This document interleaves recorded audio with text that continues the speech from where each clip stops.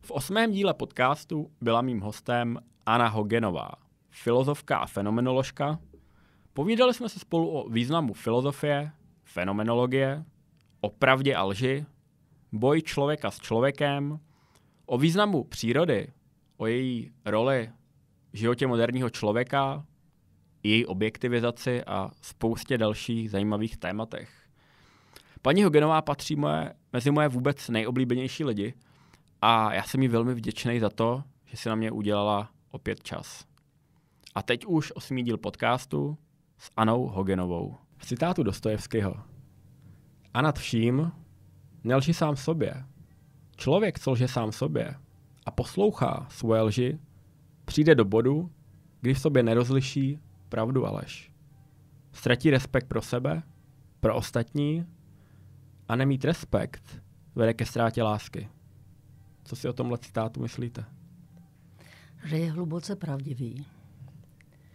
Protože člověk, který v sobě nikdy nepocítil neskrytost, která je nejlepší teorií pravdy vůbec, tak v tom dneska lítá. Jo? Protože tady je spousta teorií pravd, jako adekvace věci a myšlenky. Je tu koherence, je tu korespondence, je tu většinová teorie pravdy, je tu marxistická teorie pravdy.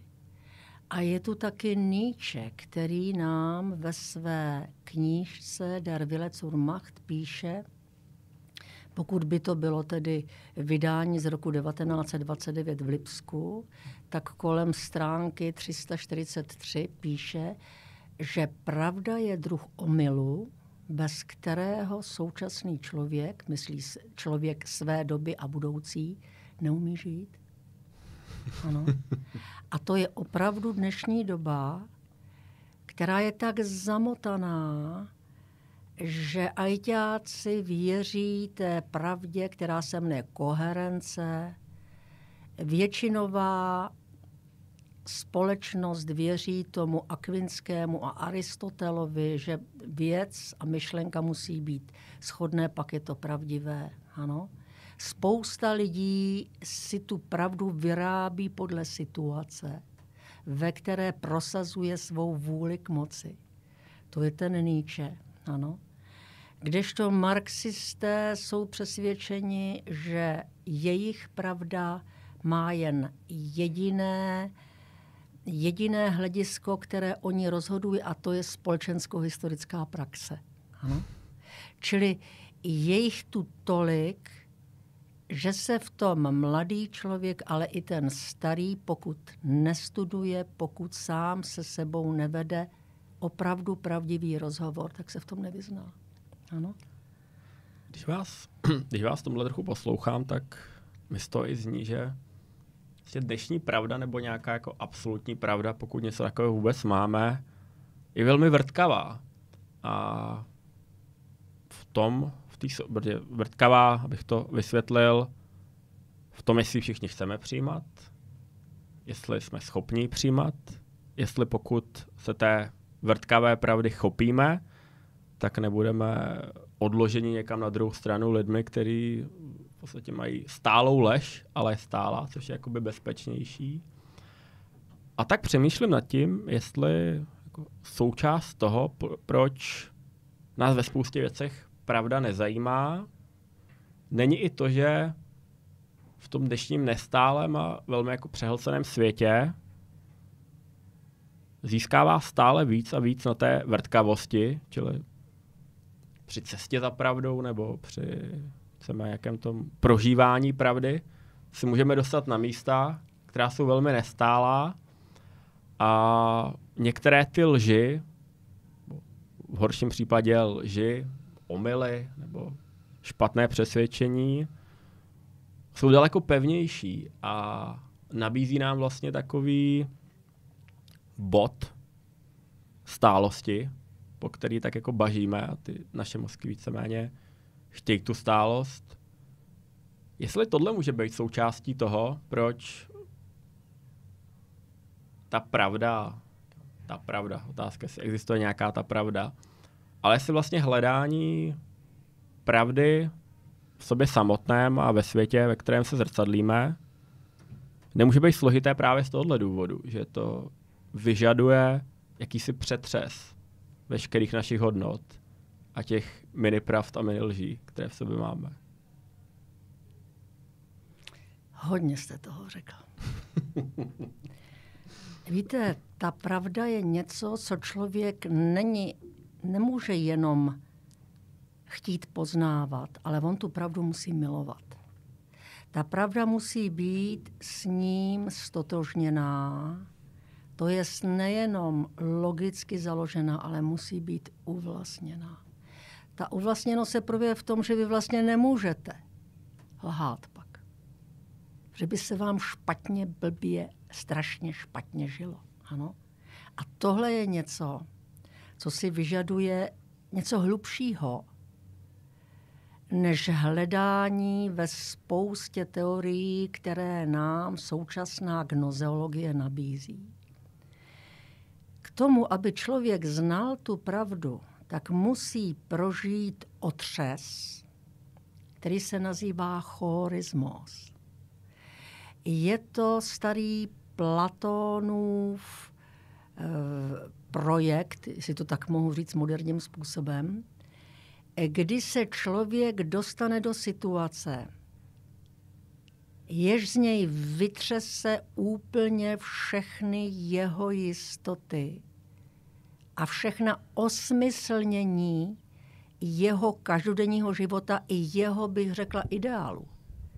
Musí se dostat do, já to tak řeknu jako natvrdo, do nejvyšší absurdity, která je možná jen tam, kde člověk se dostává do přehluboké ontologické nouze, i když ta ontologická nouze v tomto smyslu nemusí být jedinou podmínkou.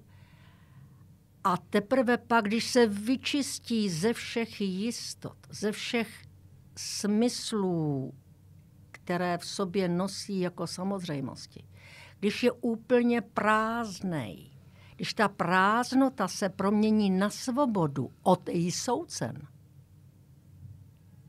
tak teprve pak má v sobě tu pravou svobodu, která se jmenuje chorismos. A jenom tato svoboda mu může dát to hledisko, které patří k tomu životu v pravdě, o němž píše Patočka a vlastně všichni velikáni ve filozofii. Ano? Ta pravda to není otázka několika víkendových seminářů. Ano? To není otázka, která by se dala nějakým karteziánským metodickým postupem podobajícím se kuchařce, které má za sebou jdoucí nějaké body, které musíme vykonat, že by se mohla tomu člověku předat. On musí být pro tuhle pravdu probuzen. Až ta pravda musí k němu přijít jako neskrytost. Ale předtím, aby tu neskrytost ten člověk vůbec mohl přijmout, on nesmí být skrytým, což je. Ano. To s tím je pravda se nedá předat, to je krásná myšlenka. Já jsem o, tom, o tomhle jsem uvažoval pár měsíců zpátky, vlastně jako jinak, to je možná druhý téma, že existuje něco jako vědomá pravda, zažitá pravda. A druhá, že vlastně člověk, pokud by chtěl pomoct, tak může nabídnout mechanismy člověku pro přijetí pravdy, ale nemůže mu dát pravdu ke přijetí. Přesně tak. Člověk ano, to sobě ano, musí vybudovat. Ano, ano.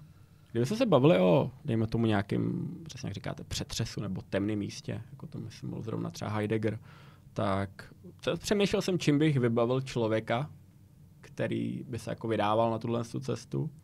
A došel jsem jedna, která k pravdě, nebo dejme tomu, najít si vztah k pravdě, jak říkáte, milovat pravdu, nejenom ji uznávat jako nějaký jako konsenzus, který musíme všichni pronásledovat.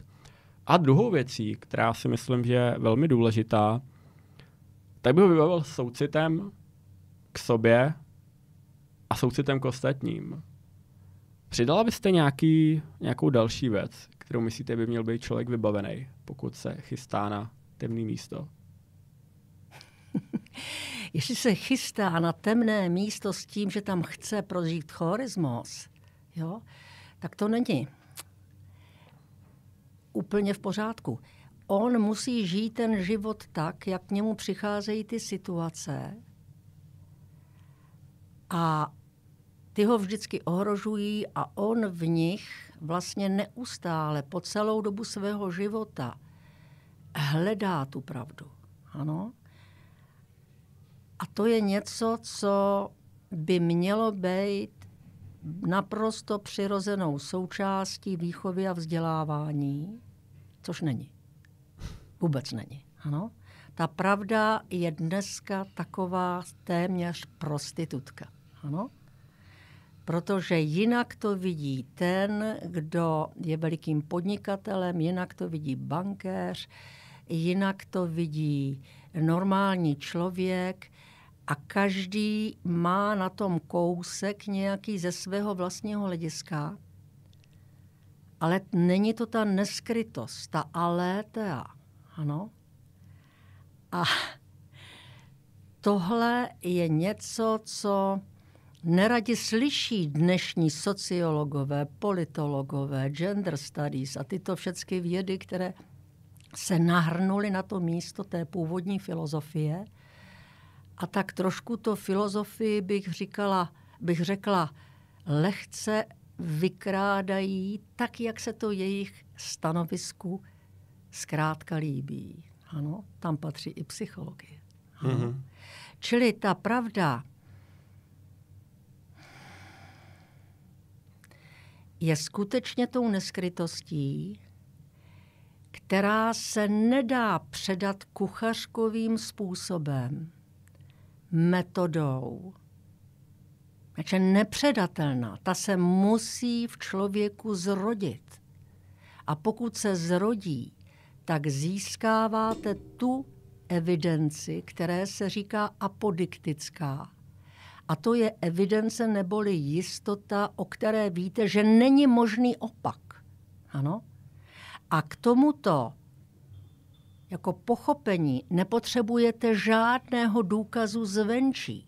To musí přijít z rozhovoru, který vedete se sebou, se společností a s tím bytím. A bez toho, z čeho se ukazují všechna i soucna, bez toho, čemu říkáme bytí, to je úplně nemožné. Ano? Proto je nesmírně důležité, aby to vzdělávání šlo do hloubky, o které v podstatě ti lidé, kteří o tom vzdělávání rozhodují, ať jsou v Evropském parlamentu, v komisi vzdělávací, anebo u nás na ministerstvu školství vůbec netuší. Ano? Tohle sebou přinesla ta doba karteziánská, kde se ta neskrytost, která se dává člověku z věci samé, a pokud on je otevřený, tak ta neskrytost jim prostoupí a on pozná, že toto je totéž, co už má v sobě. A když jsou dvě věci totožné, stávají se jednou. Ano? Čili když takto pochopíte tu neskrytost, tak už nemáte nejistotu v sobě. Už víte, co to je. Ale musíte se k tomu vždy jakoby poprvé a naposled znovu rodit. Ale už tu cestu znáte. A to je to, o čem Patočka říkal, že jen tito lidé by měli být politiky. Ano, to říká ve své krásné myšlence o třetím životním pohybu, který se jmenuje život v pravdě. Život v pravdě. Mm-hmm. A co si myslíte o tom soucitu? Soucit je něco, co se k té neskrytosti, nebo v ní se v té neskrytosti taky nalézá. Ano? Jsou lidé, kteří neznají pravdu, ale protože ji neznají, tak škodí. Ano. Tak když tohle člověk dělá, tak nemůžu ho za to nenávidět. Spíš mu musím pomáhat. Ano.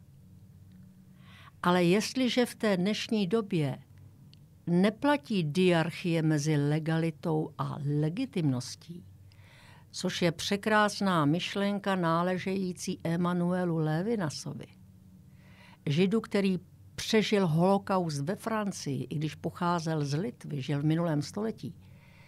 Když člověk nezná to napětí mezi zákonem a svědomím,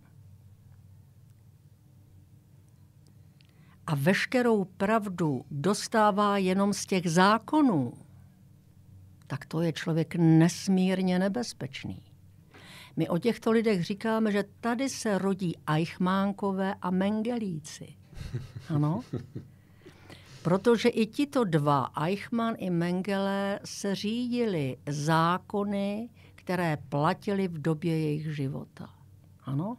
Byli s nimi v koherenci, nebyli proti. Ano? A co všecko provedli. No. Čili nestačí vůbec eh, v té pravdě všechno zakládat jen na té legálnosti zákonů, ale musí v tom člověku být něco hlubokého, o čem říkal starý Augustín.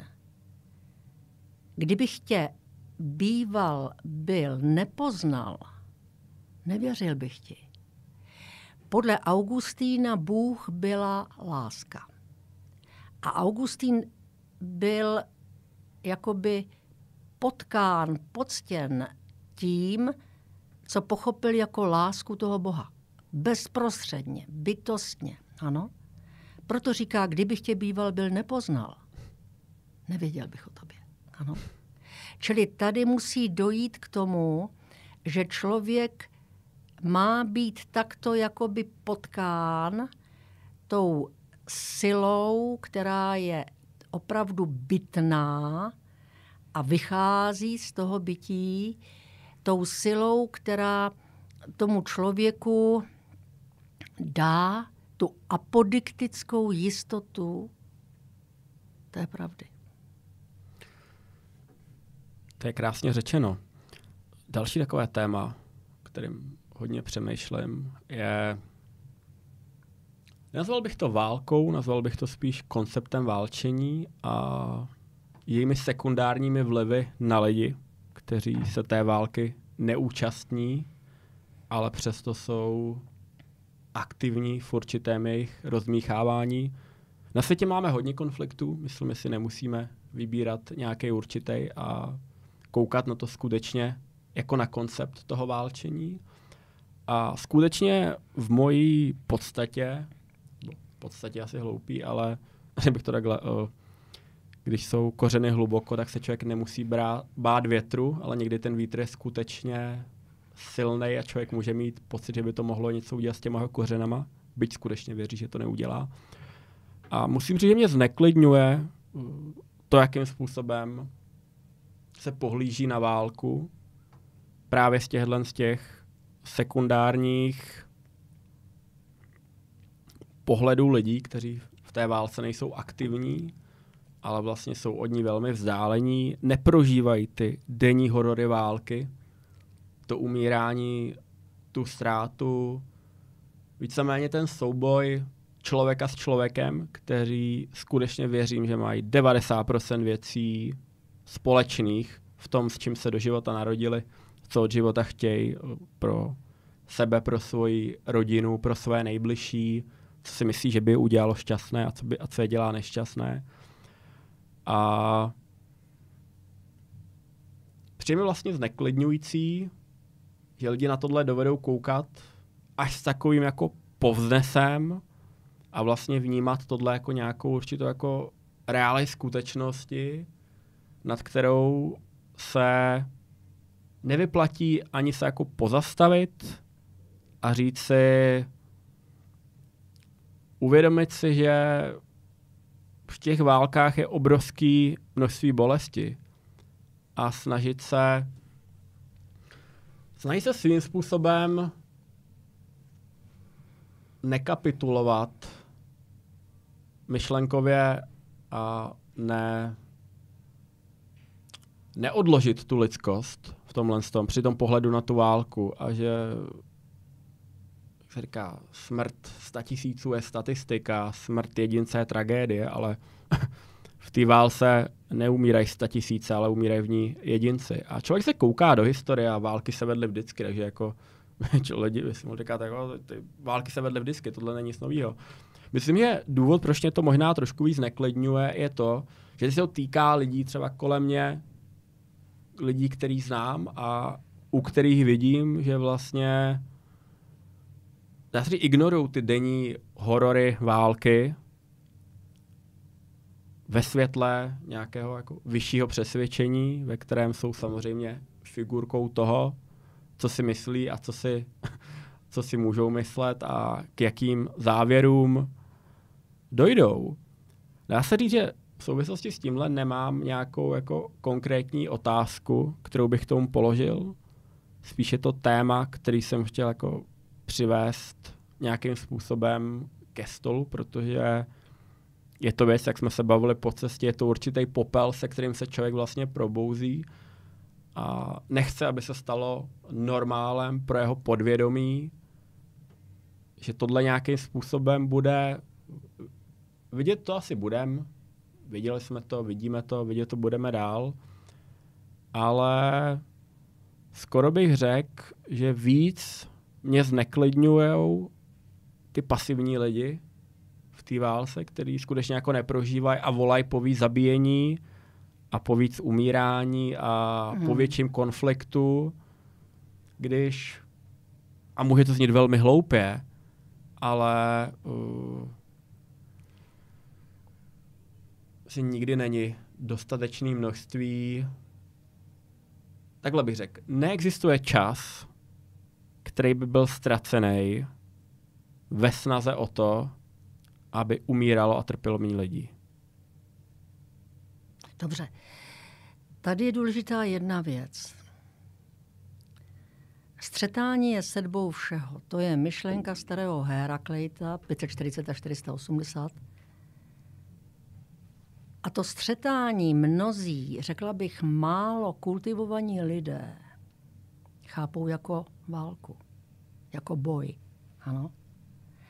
Ale střetání je sedbou všeho proto, protože jen v napětí tohoto střetání se ukážou oba dva střetající se póly ve své nejhlubší pravdě, protože tam nemají čas na to, aby se skrývali za nějaké masky. Ano? Proto střetání je sedbou všeho. A agon je toto střetání. Jo? V olympijských hrách původních šlo o střetání, které vyčistí mysl těch dívajících se diváků tak, že budou schopni postřehnout, že když ti dva spolu běží v závodu a vydají ze sebe úplně všecko, tak ve chvíli, kdy jsou čistými protiklady, už nemůže jeden běžet rychleji a druhý také rychleji. Už nemůžou. Tak v té chvíli se ukáže to, co je oba jakoby propojuje, ale z vyššího hlediska tomu se říká postřehování. Ano, postřehování. A toto postřehnutí postřehne, že kosmos, což znamená v řečtině řád, je řízen jenom tímto neustá, tou neustálou cizelizací těch protikladů ve všem všude a vždy. A že tato posvátná svatba nebes a země a kalokagátia v člověku není nic jiného, než když se na to podíváme z hlediska jedince, tak je to ten rozhovor, který vede se sebou, který vede ze společností, vede ho s kosmem, vede ho s bytím. Ano? Čili ta válka je vždycky něco ohavného, ale pokud jde o to, kdo tu válku vyprovokuje, kdo ji začíná, pak nemůžeme zase být jen na straně té legality. Jako je tomu třeba v dnešní době, úplně u každého téměř. Ano? To znamená na těch zákonech. Ano? Ale musí tam být ta legitimnost, ta hloubka pochopení, které je řízeno tou potřebou neskryté pravdivosti a hledat kořeny té války. Ano? A to se nachází jen v obrovském napětí mezi legalitou a legitimností. A toto napětí tázání je zbožností myšlení, které přináší člověku vhled do té neskrytosti, v bliknutí do té neskrytosti, který je bleskem, ano, který je tím postřehnutím, který jenže vzniká z obrovského napětí mezi tím svědomím, který, které je tou neskrytostí vedeno, a mezi těmi zákony, které platí v té společnosti. To, co je mezi těmito dvěma póly, legalitou a legitimností, to se jmenuje diarchie. Ač to má dvě arché. Arché jsou počátky. Ten mhm. první počátek je svědomí a druhý počátek jsou ty zákony. Pokud ten politik vidí jen ty zákony, tak tam nepatří. Ano? A může přinést té planetě v této době, kdy je vyzbrojena takovými ničivými silami, úplný zánik. Ano? Jak je možné, že toto lidi nechápou? Jak je to možné? To jsou tak povrchní? Když, když nad tím člověk přemýšlí, bavili bychom se, třeba minule jsem tady měl Terezu Matíčkovou a bavili jsme se o mechanismech, jak jako konstruovat a dekonstruovat svět. A na, bavili jsme se o tom, právě spíš o těch, jakým způsobem bychom, jaké, jakým způsobem bychom přispěli k dekonstru asi prostě světa o věcech, které si myslíme jsou špatný. Když bychom se bavili naopak o poměrně jako pozitivních mechanismech, jak právě zdá, jak zkrátit tu vzdálenost, a nevím, jestli zkrátit je správný slovo mezi právě tím svědomím a zákony, aby, si byly nějak, aby, ne, aby ty zákony vyplývaly z lidí, kteří mají svědomí a mezi tou legitimitou a legislativou, pokud se nepletu. Legálností. A legálností. Aha. Jaký, jaké mechanismy, mechanismus je jaký hloupý slovo, ale je zkrátka zkrátit tohle, aby tyhle dvě věci šly spíš ruku v ruce. A... Pavle, to nejde zkrátit. Ten člověk musí žít v napětí těchto dvou arché, těchto dvou počátků a pokud nežije, tak dělá prostě chybu. Jo? Ale tohle má v tom člověku probouzet vzdělávání a kultivace tím, čemu se říká kultura. Ale to vůbec dneska není. Všechno je založeno na výdělku a toto, co se vůbec nedá zaplatit těmi penězi, to schází. Ano. To se nedá žádným mechanismem zkrátit. Hmm. Tohle je třeba pochopit.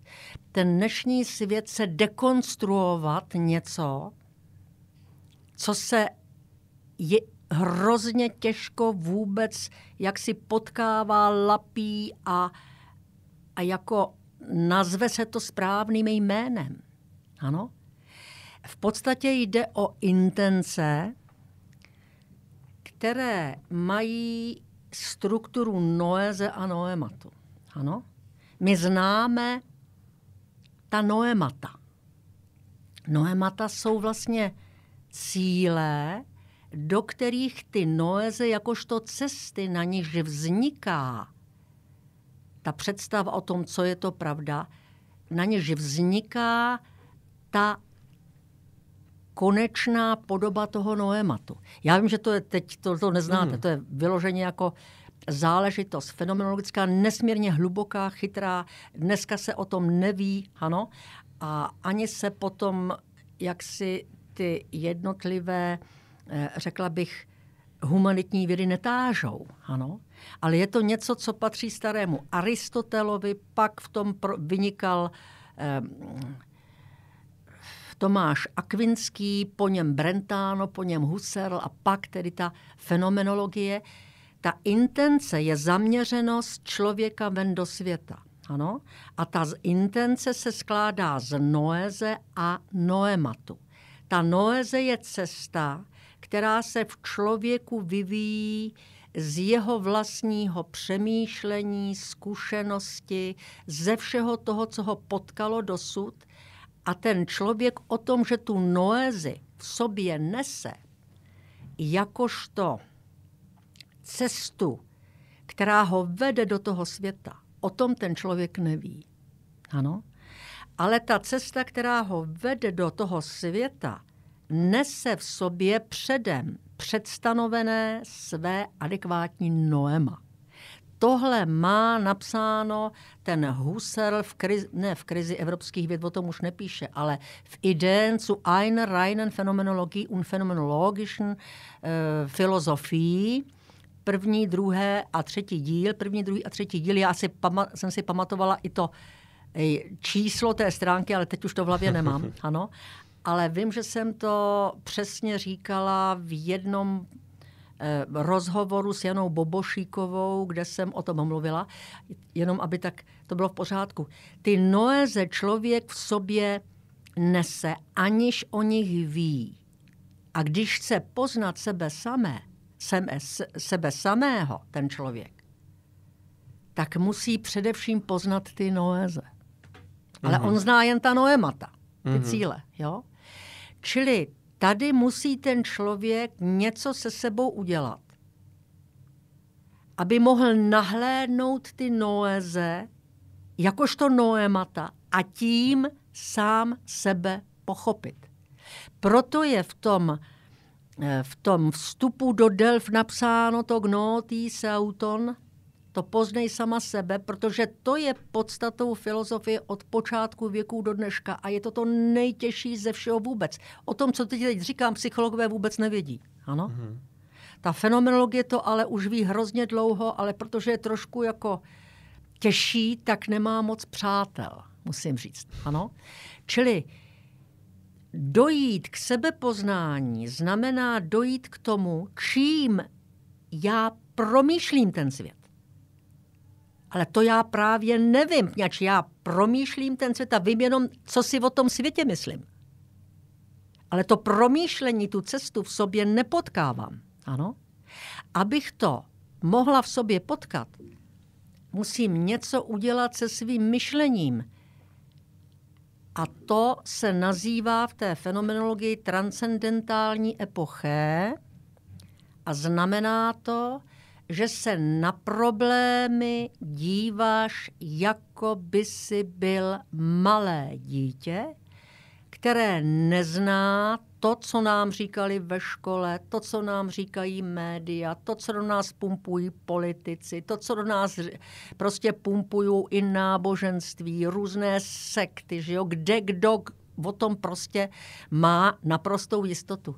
Čili ten člověk se musí oprostit od těch noezí, které už jím vládnou a dívat se na ten problém, jako by byl malé dítě, což neznamená, že něco zapomene. Zapomenout se to nedá, ano?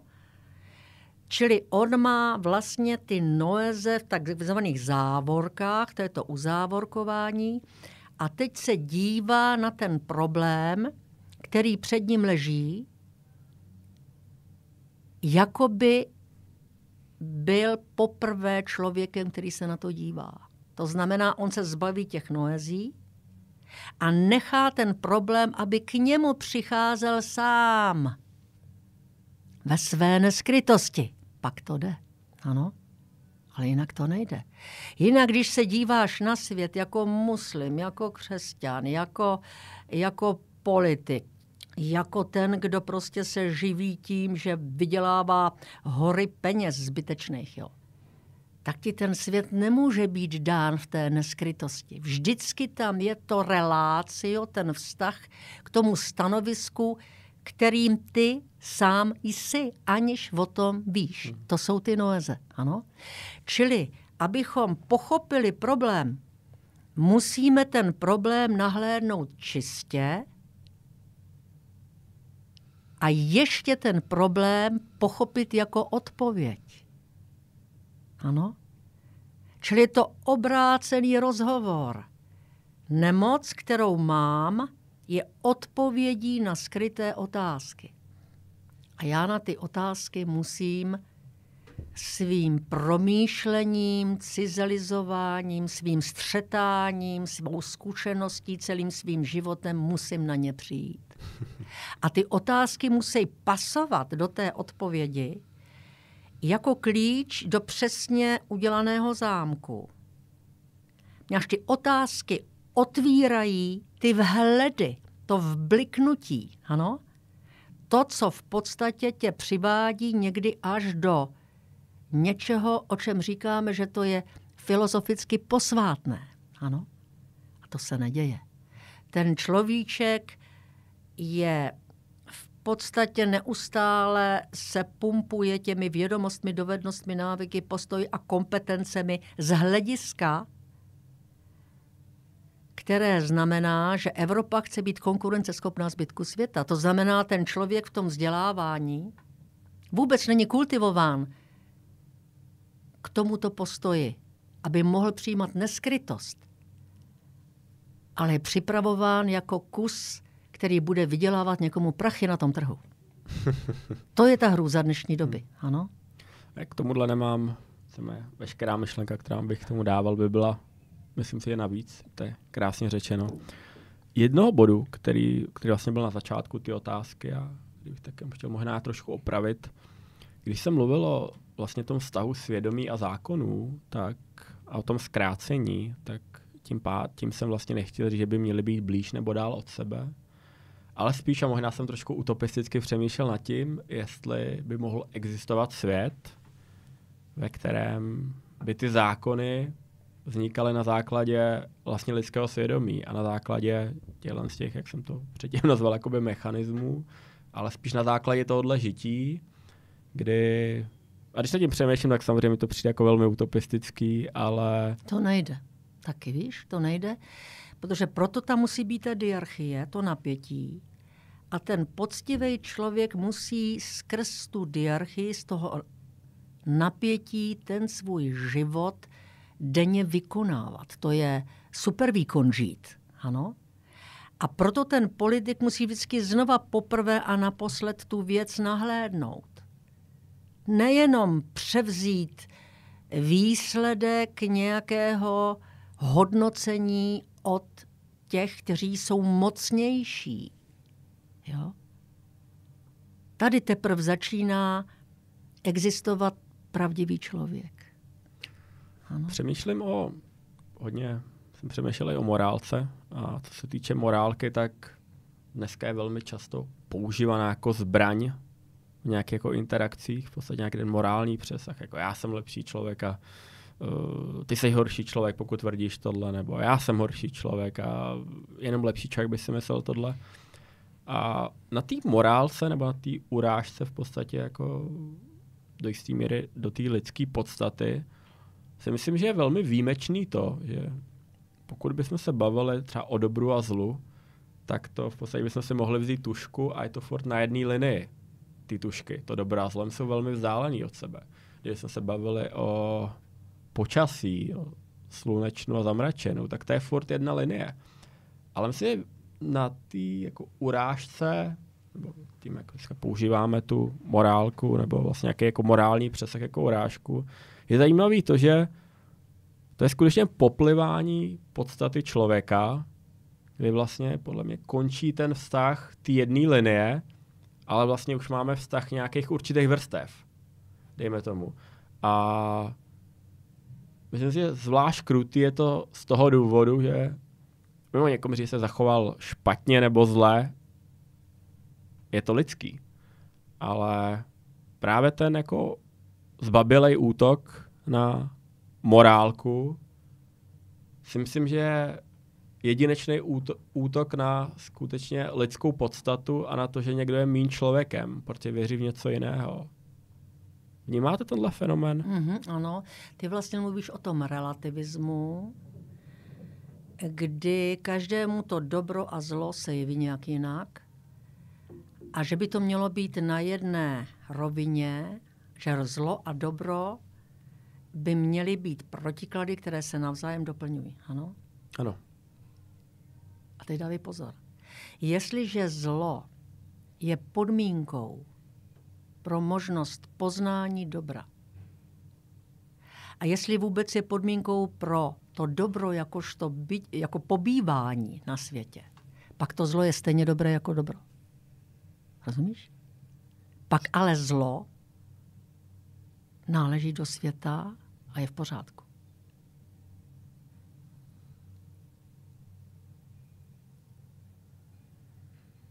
Přemýšlím.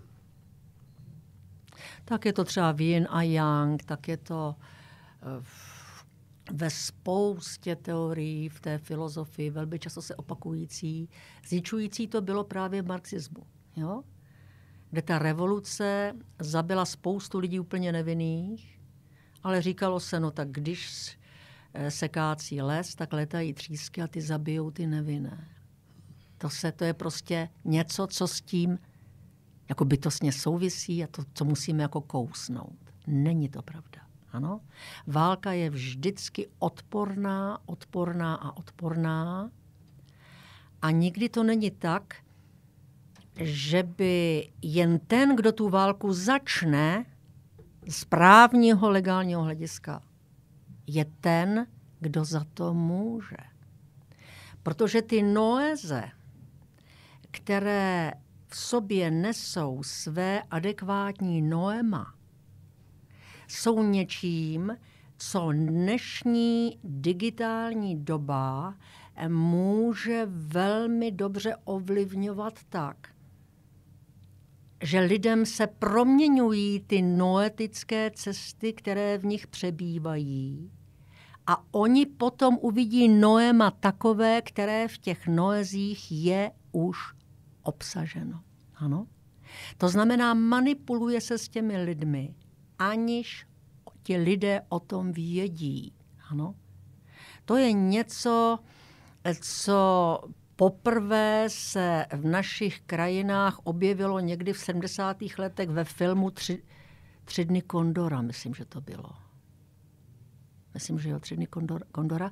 A teď to přesně nevím. A to byl americký film, fantastický, ano, eh, který si všímá toho, že můžeme ovlivňovat široké vrstvy lidí prostřednictvím médií, když známe jejich noeze. Ano? Čili když chci ovlivňovat třeba nějaký stát v severní Africe, tak já musím nejdřív nazbírat materiál jejich nejtypičtějších noezí, to jest jak mysle, jak hodnotěj, prostě všechno o nich musím číst a když se v nějakém novinách, v knihách, v, v poezii, v beletrii, v normálních rozhovorech objevuje nějaká figura, která se stále opakuje, tak tu okamžitě musím dát do počítače, že jo? A mám z toho materiál proto, abych pak mohla vytvořit noeze, jež do té země vpustím pomocí těch médií a ona bude proměňovat ty lidi, aniž by oni se mi o tom věděli. Jo? Tohle je něco, co je šíleně nebezpečné, říká se tomu taky teorie her, dělá se to na té, z té strany i z té strany, jo? z některé strany je to lepší, některé horší, ale je to v podstatě to, kde se předpřipravují ty převraty. Souhlasím, jo? souhlasím. Čili vycházet jenom z toho, co je legální, bez té diarchie s tím, co je Eidos, nebo die Besinnung, nebo die Scheu, což, což všecko v té filozofii se může najít. To znamená, to, co je v člověku tím jeho pramenem, nežít v tom napětí mezi těmito dvěma krajními arché počátky, znamená nepochopit tu dobu. Ano?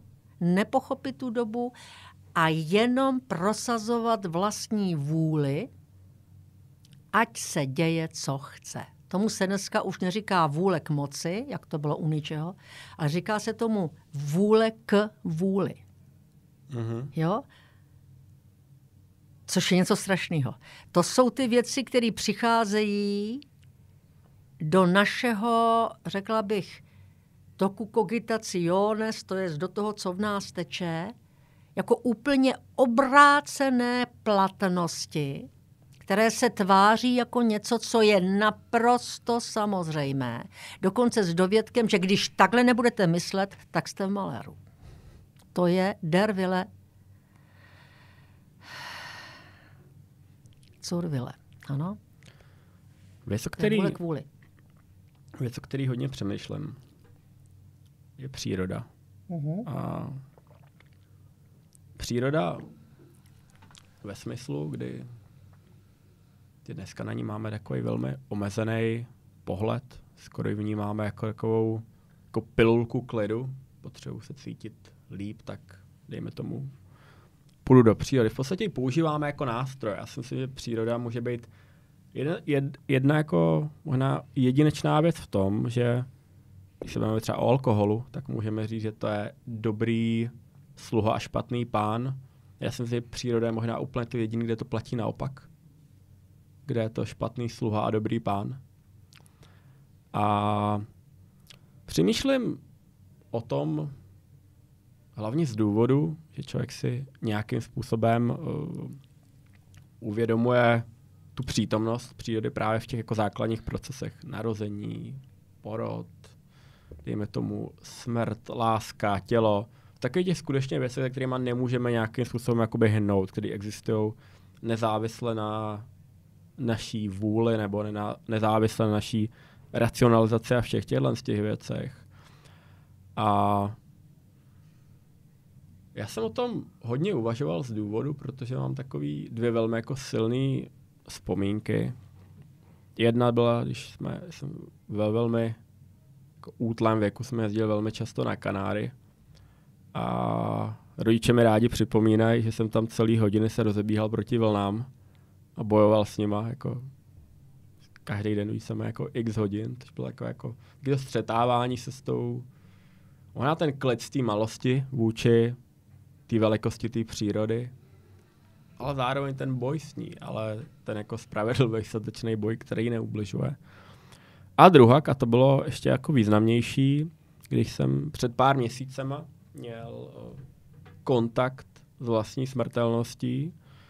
A když myslím kontakt, tak nemluvím o tom, že jdeme po ulici a najednou vyjede auto a málem nás srazí a my se vlastně uvědomíme až jako afektování, že tohle byl kontakt se smrtelností.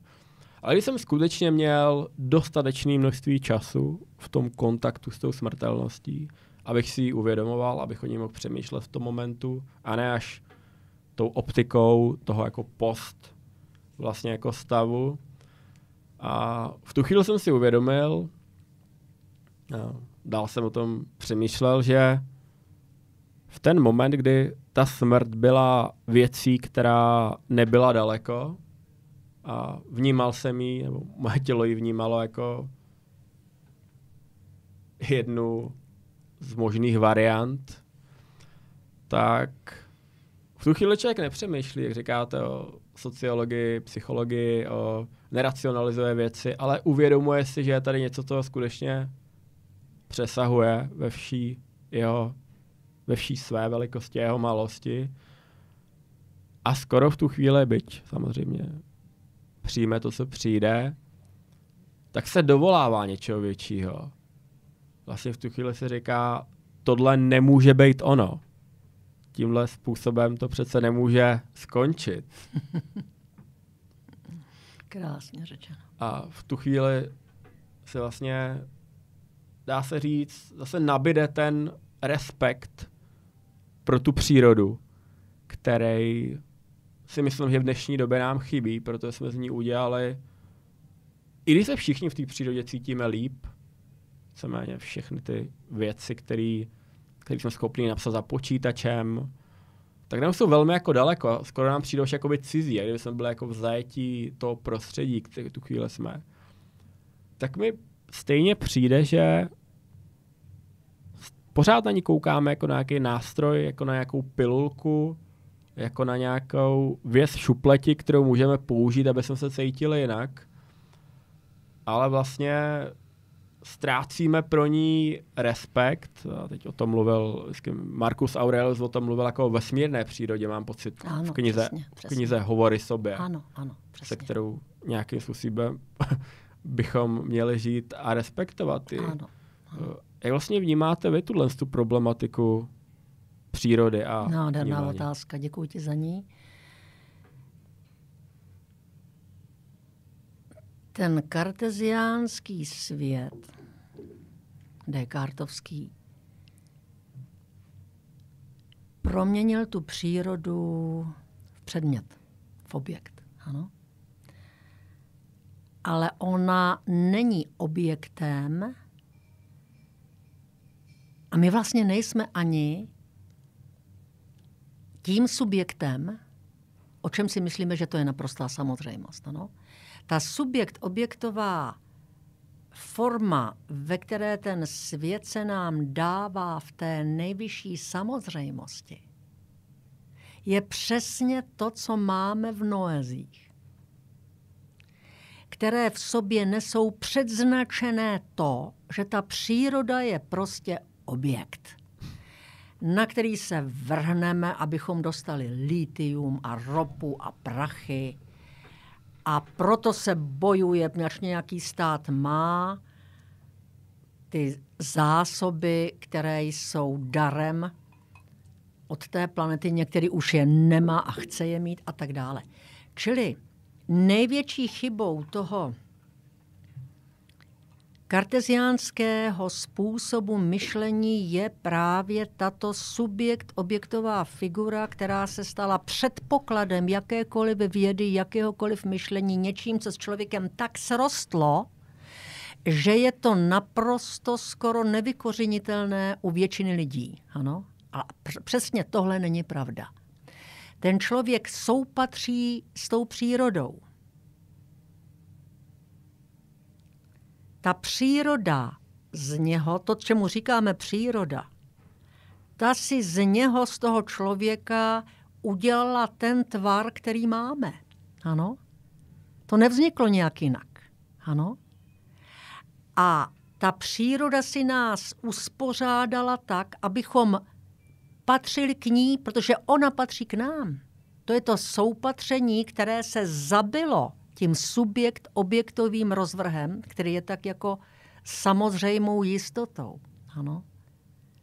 A proto ten člověk najednou se stává věcí, stává se také předmětem, ano. Nejlépe, když nám řeknete své rodné číslo, aby nedošlo k nějakému zmatku, to jméno už nestačí, jo a zachází se s tím člověkem jako s materiálem, ano? Zachází se s ním tak, že válka je něco prostě normálního, že ten člověk zemírá hůř než zvíře, ano? Což je tak neskutečná forma krutosti, kterou dnešní svět jakoby se mm, dokonce někdy i vytahuje, ano? že něco takového už není pro něj nic tak strašného. Je to prostě něco, co do toho světa patří. Čili ta příroda není předmětem za prvé. Nikdy nebyla. U starých řeků to tak nikdy nebylo. Ano? To přichází až opravdu s tím kartéziem, s tou subjekt-objektovou figurou. Ten člověk patří ke světu, svět patří k nám, stejně tak jako bytí patří ke světu by, a ten svět patří k nám, čili bytí patří k člověku, člověk patří k tomu bytí. Ano? A když chce ten člověk být člověkem, tak musí vést rozhovor se sebou, se společností, s bytím. On dneska vede rozhovor jenom se společností a trošku se sebou. S tím bytím ani o tom neví. Ano? Proto je bytostí, která i samu sebe předkládá jako předmět. Ano? Jak to vidí mnohdy lékař když vidí pacienta jako předmět. Jak to vidí mnohdy učitel, že vidí studenta jako materiál. Ano? Tak to vidí vlastně eh, topici, že top manažeři, ač ty mluví o vlastně o té matérii lidské, že jo? To jsou ty lidské zdroje, že jo? Proto vydělávání peněz. Tohle je největší descendence, které se to lidstvo dopustilo díky tomu Descartovi. Ale Descartes za to za všecko nemůže. To už začalo u Aristotela, trošku u Platona, ale u Platona málo, u Aristotela víc. A je to něco, co je třeba pochopit, proto je tak nutná eh, ta filozofie, především její dějiny jako dějiny počátku, aby se stala součástí prostě té kultivova, eh, toho kultivovaného člověka dnešní doby. Ač ta doba je celková, je planetární a ten každý člověk, ten jediný člověk musí znát tu celkovost toho současného světa a musí ji započítat do vlastní zodpovědnosti, která je jedinečná, což se taky neděje. Ano? Čili na počátku ti staří řekové chápali tu přírodu, říkali jí fyzis. Ano? A fyzis je slovo, které pak ukradla fyzika a udělala z toho teorii o pohybu neživých předmětů. Jenomže fyzis u starých řeků to byl pohyb u toho, co bylo živé. Živé, ano. Čili semínko se hodí do černé země a to semínko musí umřít, aby se z toho semínka pomalu vytvořil, zrodil klíček, který pak vyroste v pšeničný klas. Ano? To, co je v té zemi, to zachází do skrytosti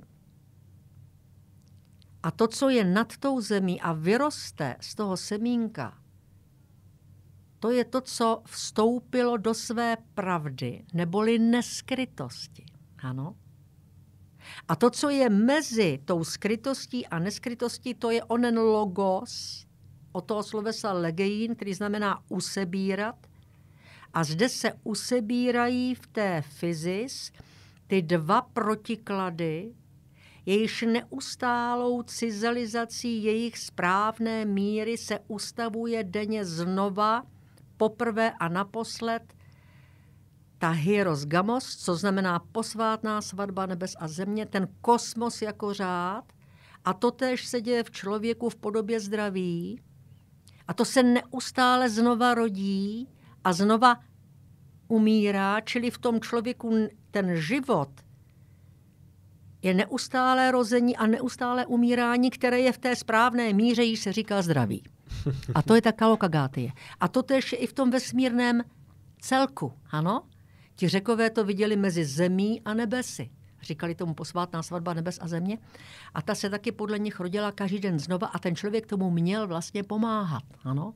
Čili ta příroda to není žádný objekt, který zkoumá fyzika, chemie, biologie, psychologie, historie. To je něco, s čím dohromady vytváříme celek vyššího řádu a ten celek vyššího řádu musí ten mechanik, fyzik, chemik, ten biolog, ten historik musí to znát. A on to nezná, ano? A to je právě ten problém. My jsme z té přírody udělali to, jak si dobře řekl, když jsme spolu jeli sem, nástroj. Ano? No, příroda a věc, která je blízko přírodě, nebo by měl jít ruku v ruce, je láska. Když se budeme mluvit o, ano. Když se budeme mluvit o konceptu lásky. Co je to láska? Člověk přemýšlí. Říkám si, může to být určitá manifestace takových jako životních dílků, jako zkušeností, prožitků, vole, preferencí tím, v čem žijem, která je jako manifestovaná v něco, co přesahuje naše racionální vidění a jsme tím vzatý do jistý míry jako do zajetí, ale do dobrovolného zajetí. Může to být zrcadlení. Může to být zrcadlení lidských vztahů, které si sebou neseme, a v lepším případě těch aspiračních v horším případě těch kompenzačních a možná jsme blíž té druhé straně v dnešní době. Může to být jakýsi maják, který máme, který se nám nabídne v životě v určitém momentu, kdy možná stojíme na mítině určité cesty a nabídne nám takový jako fáborek. Možná ne jakým způsobem mít, ale času udělat rozhodnutí, jakou cestou se vydat, právě třeba směrem té lásky a nějakého os- osvojení si, může být nějakou partnerství třeba, a nebo té volby odložení té lásky, víceméně to popření té existence.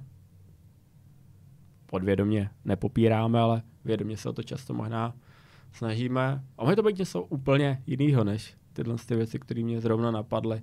Jak vnímáte vy lásku? Teď si hodně dlouho o tom mluvil. Ano. Vždycky je třeba mít vhled do toho, co je nejhlubší, nejpodstatnější. A já ti to teď řeknu. Láska je touha po ztraceném celku. Ano. Láska je touha po jednotě. Po jednotě se sebou, se společenství, s celým bytím. Ano. A to je myšlenka, kterou zase ti řekové už dávno, dávno nádherně nám tady jako vymysleli a zanechali nám ji, jenomže to nikdo nečte, že jo.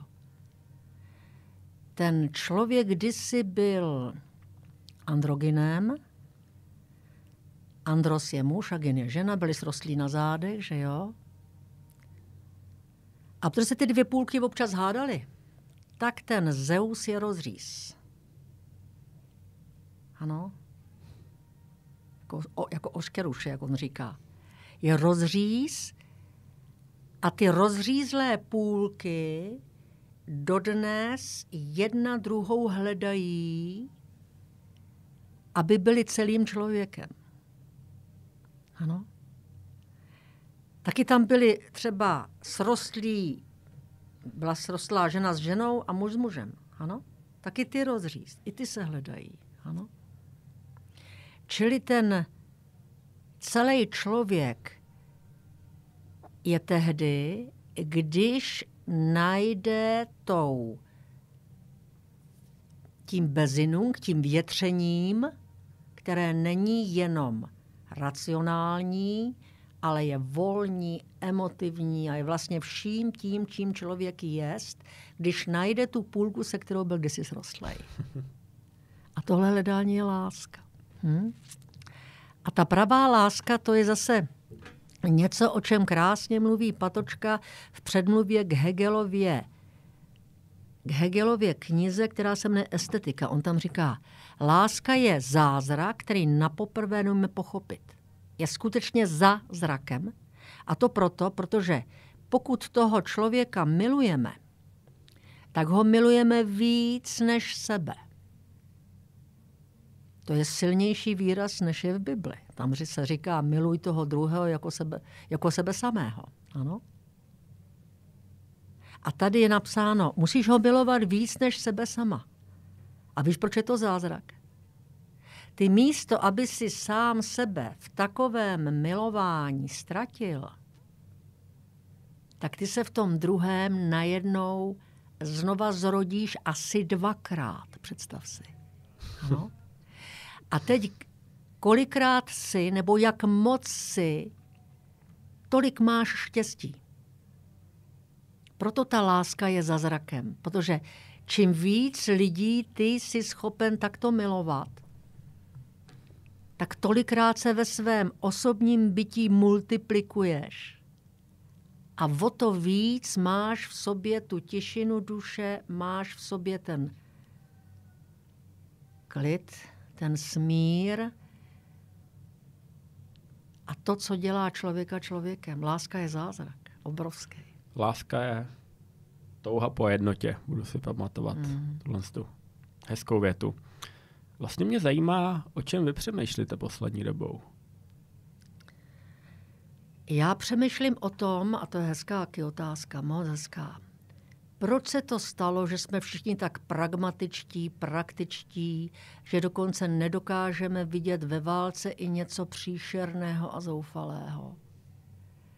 A přicházím na to,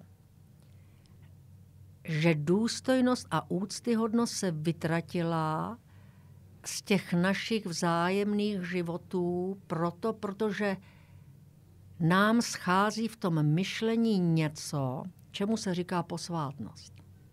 Ano. Ta posvátnost je něco vyššího, než je věda. A ta posvátnost z toho filozofického hlediska není pochopena jako náboženství. Ano? To náboženství jako by tu posvátnost si trošku zmonopolizovalo. Ano?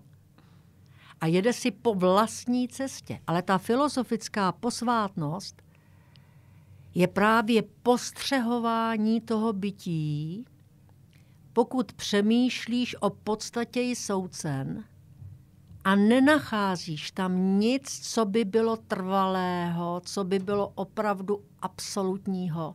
Až to tam není, ano? A z, z tohoto pocitu, který ti přináší tu ztracenost v těch soucnech, se můžeš dostat, když to pustíš k sobě – a nebudeš se tomu vyhybat a nebudeš to zamykat do nějaký třináctý komnaty, ano, tak se můžeš dostat do takové ontologické nouze, ve které ti to bytí šíleně chybí, až těch soucnech ho nepotkáváš, nenalezneš ho, i když děláš všechno možné, ano.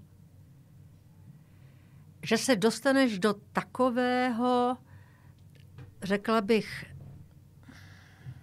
do takové hluboké životní nouze, že ztratíš ty jistoty, které přicházejí z těch soucen. A to je ten chorismus. A jakmile se dostaneš do této svobody, která je svobodou od všech soucen, jejich významů, funkcí, tak najednou si opravdu svobodnou bytostí, což v člověku jako možnost přebývá, a dostaneš se tam tak, že najednou ta negativnost, která je obsažena v tom, v té ztrátě těch jistot, a v té obrovské míře té nesmyslnosti, která se proti tobě vynoří jako obrovská vlna, kterou jako dítě si snažil, se snažil pokořit v tom moři, ano? Tak právě ta dokončenost toho záporu v tobě, v tom obrovském napětí toho bytostného tázání vytvoří něco, čemu se říká žhnutí. Jo? To žhnutí je něco jako oheň a z toho potom najednou postřehneš, že tu musí být něco ještě před těmi soucny. Co je současně i v těch soucnech. Co je vlastně všude. A jak je to všude, tak to není taky nikde. A toto je právě to bytí, které je pozadím, ze kterého všechna soucna vstupují do svého zjevu. A to je ta fyzi z těch starých řeků. Ano? Čili všechno se do sebe zavinuje, ukončuje, najednou tomu rozumíš a ten, to porozumění ti dává neuvěřitelný vnitřní klid a nadhled, který, Pavle, ty pořád hledáš. Ano? Ale protože máš v sobě ty otázky a nemáš strach, jak sobě pustit, a necháš ty běsíky v sobě rejtit, tak si na té cestě, která vede až k tomu, co jsem teď řekla. Ano, k tomu setkání s tím posvátným bytím, které se dá pouze postřehnout. To postřehnutí je vlastně zrození, které se děje v tvé duši z toho obrovského napětí té otázky, skrz kterou žiješ svou celou každodennost i noci. Ano? A to je to, co potřebujeme v těch mladých jakoby probouzet. A to je to, co ten Platon říká, že když se posudky jednotlivých filozofujících jedinců o sebe laskavě třou, to je v sedmém dopise jeho, tak z těch posudků najednou vylétne jiskra. A z té jiskry vznikne to žhnutí. A žhnutí je vstup do toho vyššího, než je to praktické, pragmatické, každodenní. Ano? A tohle vyšší je v noci. Proto k člověku patří i noční stránka života, nejenom bílý den, jak si myslí ta současná doba. Ano? Mm-hmm. A tohle je třeba v lidech probouzet tím, že ty posudky se o sebe laskavě třou a tím třením vznikne ta jiskra a z jiskry plamen, který pak živí tu neskrytost v duši každého člověka. Hmm. To je hezky řečeno. Kdybyste si mohla sednout, ať už tady, nebo doma na gauči, nebo někde na kávě, nebo právě u kýského rybníka, jak jsme se bavili, tak... Který oba známe a moc ho milujeme, ano. Oba ho máme moc rádi. Ano. Tak jaký tři lidi by to byly? Kdybych si tam měla sedno, sednout ještě s třemi lidmi? Z jakéhokoliv věku.